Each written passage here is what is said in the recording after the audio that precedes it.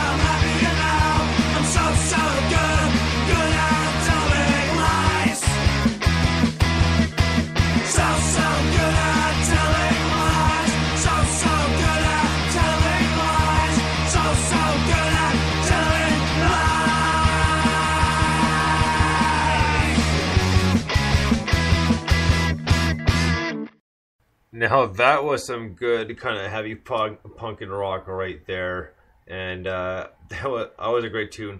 That was Dork Turnspit with "So So Good at Telling Lies." I thought they did a great job. I love the the change up in the middle of the tune where they broke it down to the quiet section. That was very effective, and then kicked the band back in, and it sounded great. It did sound great. Yeah, when they had the break with the vocals, mm-hmm. the way they were panned back and forth, that was really cool. Yeah. Well, right on. Next up, we're gonna get into band we've heard quite a few songs, and they're a great band called Polaris Rose, and I'm pretty sure we haven't played this one before. So it's called A Diamond in the Sunset. Dig this, Polaris Rose.